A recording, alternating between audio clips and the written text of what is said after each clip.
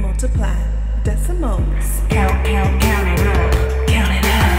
Count, count, count it up. Multiplying decimals. First, what you do, do what you always did. Push your numbers to the right like an elementary kid. Ignore those decimals for now, that is. Multiply like normal and we'll get to the other biz.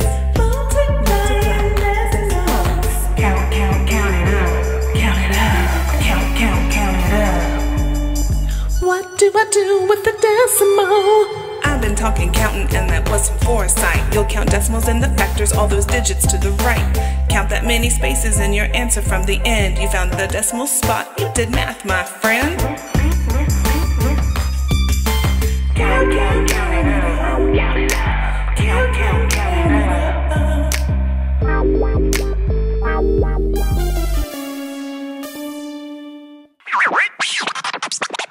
So now you know the way and you'll math it like a pro.